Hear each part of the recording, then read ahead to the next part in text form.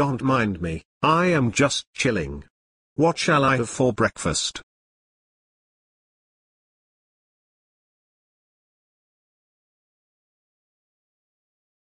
Nothing.